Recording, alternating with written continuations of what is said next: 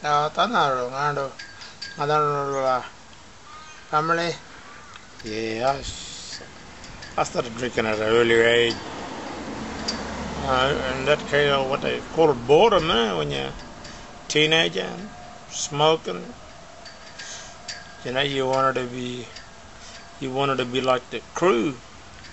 Crews, other people who's older than you. Then, then it went on from there that diabetes, I had to learn to adapt to get rid of all the things that I used to do. I gave up smoking and drinking. I went back to play football and football along with coaching. I was coaching under 15s, really, which I like. And I love um, being around younger men and being a leader and a, a role model, uh, someone they look up to. And uh, it, it's good to speak about the situation. How can you deal with it? What can be done?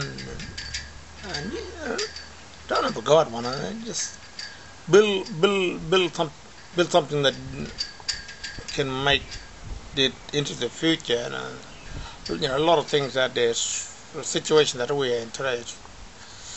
Is we don't want to live by it, but get on with it by changes changes for our generation.